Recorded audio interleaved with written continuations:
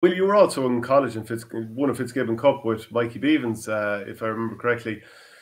What do you think that like this is two forwards, obviously himself and Liam Cahill. They've Tony Browne now involved as well. Obviously played in several different positions. What do you see? I'll just give you what I see, and then tell me what you see as mm. well. I'm looking at this Waterford team. Obviously, the, the hard running straight up the middle. That's something that everyone can see, and uh, obviously they've got scorers everywhere.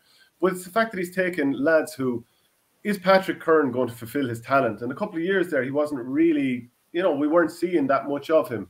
Stephen Bennett, unused sub, I think, in the 2017 All Ireland.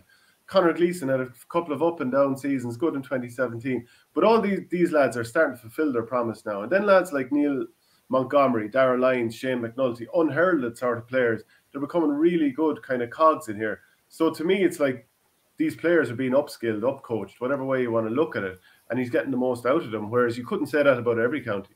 No, I, I, but I think you, you, hit the nail on the head there. The talent was there as regards. You go back to 13 and you had Patrick Curran and Stephen Bennett, probably the top th- two minors in the country playing the game at the time. And you're, you're wondering why they weren't fulfilling that. But like, I, I think they're like, go back to, I suppose, what, what you were saying there about Mikey and Liam. Like, they're, Liam is, you know, they're very clever men. Like, you know, they're, they're, they're, they really kind of go after, I suppose, yes, that passion, yes, the, all, all the things that you associate with, I suppose, with their playing career. But Mikey was a very kind of uh, technically good hurler. You know, he cut probably has 10 county medals with, with Toomevara.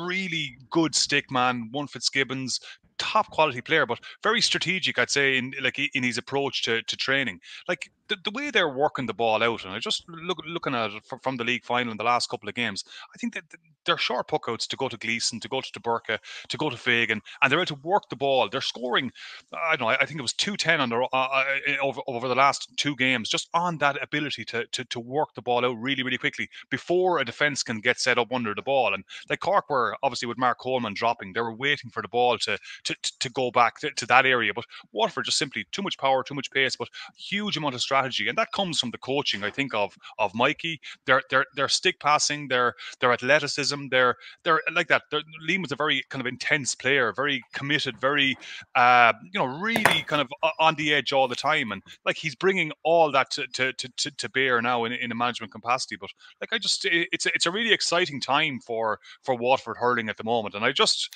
it's uh it's uh yeah Ginny Mac they're they're they're, they're, they're they blew Cork out of the water without Leeson, without Jamie Barron. Uh, I think just they, they, they, they, look really good at the moment. But I think Liam kind of after the match, his, his words were were telling, like this is again the league. This gives us momentum, yes, but it's all about what happens in two weeks' time, and that's the that's the really exciting bit for for everybody.